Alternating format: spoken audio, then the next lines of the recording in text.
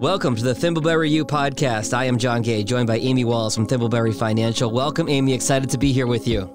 So am I. Thank you. So, what I love about Thimbleberry is the vision that you guys take to personal finance. And I think this is going to come out in the podcast. So, explain for our listeners what they're going to expect in the podcast in terms of your vision and your understanding of how personal finance works. Yeah, when we talk with clients, I always ask them about their vision, what they want for the rest of their lives. And you know, a vision is a picture. It's a picture we carry around in our heads, and we can take that picture and put it on a puzzle.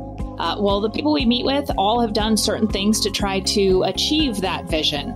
They've started with their 401k or their 403b at work. They may have a Roth IRA. They've bought their house. Those are all pieces of the puzzle. And so our job is to take those pieces and fit them together in the best way possible. Sometimes we're going to shave some down, sometimes we're going to swap some out so that that vision can be as beautiful as they want it to be. Awesome. It is the Thimbleberry U podcast, and you can subscribe in your favorite podcast app, be it Apple, Google, Spotify, TuneIn, or Stitcher.